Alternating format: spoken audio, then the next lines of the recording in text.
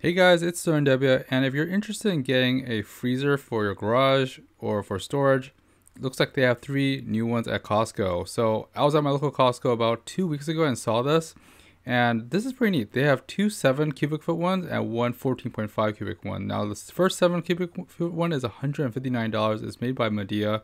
Has two wire baskets. It has pretty, you know, thick uh, side walls and also top case and of course it has controls on the bottom as well. Pretty standard, you know, freezer that you can put in your garage and stuff. It's a seven cubic foot, 7.0 cubic foot um, freezer.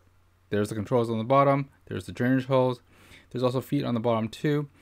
It doesn't say what type of warranty it comes with, but at the same time, it you know here are the stats. If you want to pause the video and, or rewind the video and, and stuff.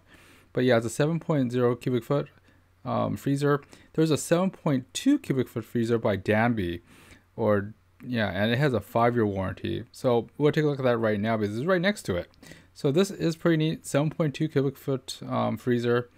Same thing, the stats, if you want to take a look at the stats real fast, go ahead and pause the video and stuff. Similar setup, temperature gauge, or temperature controls on the front, drainage holder in the front, um, door and everything, but it's $199. I guess it's because of the five-year warranty, but the additional, what, 40 bucks or so pretty awesome deal. Now this has like a wall for the wire grate and one wire basket, whereas the Midea one only has um, has two baskets and no uh, wall, you know, to hold things back there.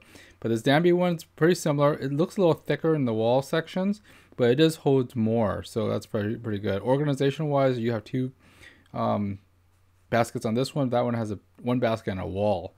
And down to the last one, this is a 14.5 Danby one, another five year warranty one, and very thick sides, two baskets, two wire baskets, and I don't see any walls here or any slots for walls. And if you want to take a look at anything else, you might want to pause the video. $449 for a 14.5 cubic foot. Um, so if you want a large capacity one, they have it too as well. So looks like three options for you. And of course, I'll leave some links below if you want to find some online. Anyways, if you haven't already, please like, subscribe, hit the bell button for the SterlingW channel. I do a lot of Costco runs, price checking, as well as new product finds. Anyways, there's also a lot of long-term reviews and updates, as well as other fun current reviews and stuff, as well as DIYs and how-to videos. So check out the channel and have fun. See you next time. Bye.